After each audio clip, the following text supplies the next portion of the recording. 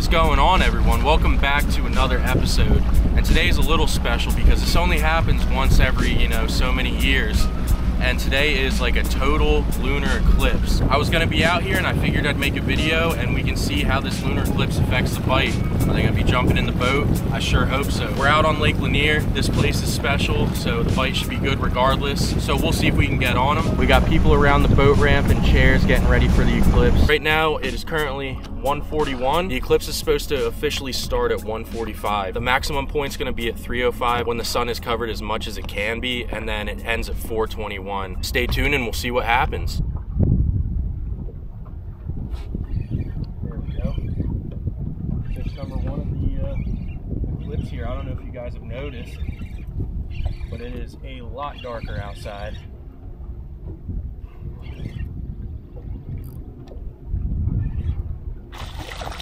good fish.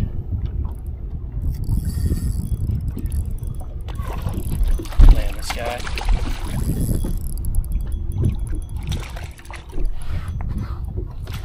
Oh, come here, buddy. Fat fish right there. Nice little three pound spot.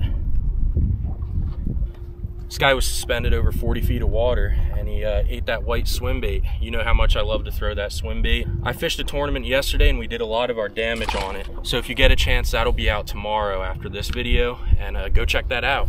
There we go. Shaky head this time. Oh, he popped off. Got a good hook in him there.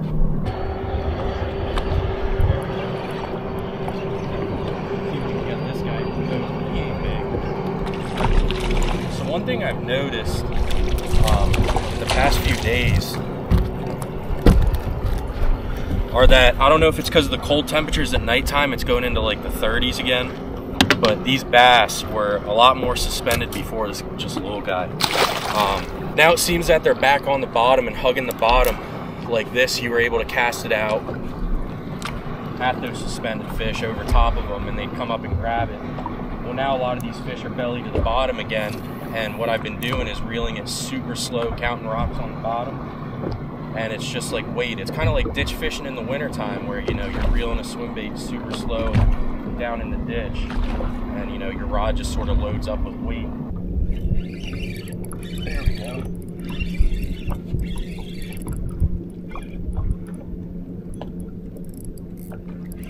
They shot up off the bottom. I barely saw them, they just looked like little rocks down there. And I was dropping my swim bait down, and as it was falling, it came right up. Man, look how fat this guy is. Good lord. The belly on him. Pre-spawn for sure. I think at least. But um dang, they're feeding up good.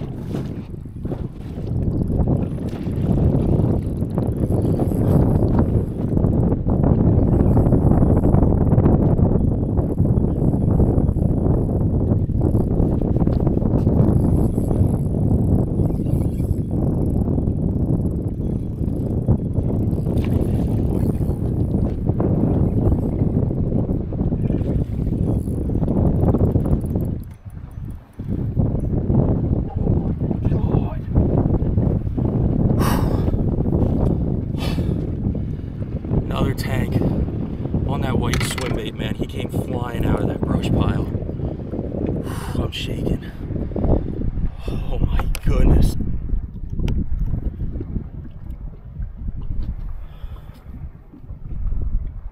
Nope, not quite five, 4.78. Four and three quarter. He is a little shorter than my fives, but uh, the gut on him is absolutely insane. He is just gorged and feeding up. Let's get him back in the water.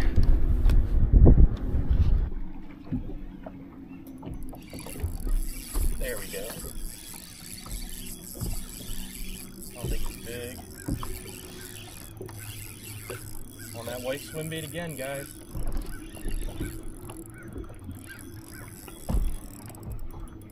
Uh, he ain't big.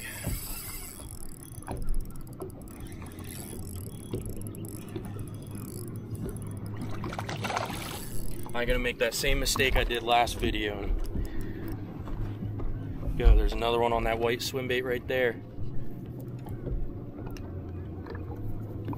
Thanks, buddy. Guys, look at the size of this largemouth cruising around. It's got to be all of six pounds. Threw at him, he followed my MagDraft, but good lord. All right, guys, well, I forgot to record an outro, but uh, check this out. It's one of them nights where you just got to make some breakfast for dinner, but also to cook up some of these guys, brand new cast 2.0 Gs. It's their second version of their OGs in 20 gram. Top water season's coming up, so super excited to throw these. Other than that, I appreciate y'all watching. Stay tuned for the tournament video. Peace.